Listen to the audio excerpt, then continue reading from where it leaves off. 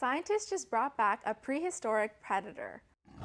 Recently, a biotech company, Colossal Biosciences, announced the birth of three genetically engineered wolf pups, Romulus, Remus, and Khaleesi, designed to resemble the extinct dire wolf.